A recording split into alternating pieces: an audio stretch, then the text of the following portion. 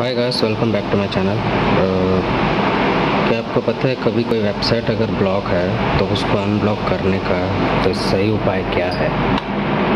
अगर ऐसा website block है, मैं इसको रिफ्रेश करके दिखाता हूँ। तो इसका एक ही रास्ता है, वो है वीपीएन प्रॉक्सी यही है। तो बहुत से वीपीएन भी है जो क्रोम में नहीं चलते हैं। तो इसका एक ही है अल्ट्रा सर्फ तो अल्ट्रा सर्फ को डाउनलोड कर लीजिएगा।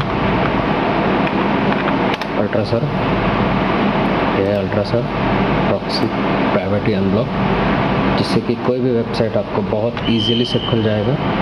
मैं इसको इंस्टॉल करके दिखाता हूँ।